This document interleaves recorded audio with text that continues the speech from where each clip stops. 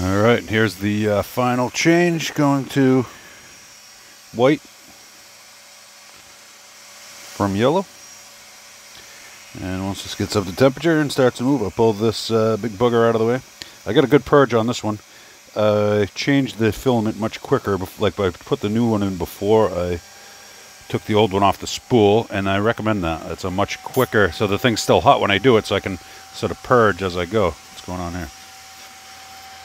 So uh, looking good. Uh, looks like I got all the changes right. I noticed something funny though.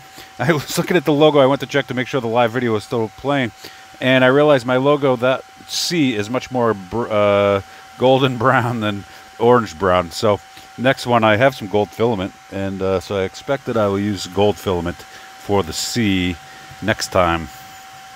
But looking good, just about done. Just got to do that R basically, and it's done. Why is it going over the three with white? Uh, that is not supposed to be happening.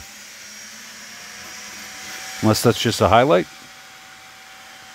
Okay, uh, not sure what that was about.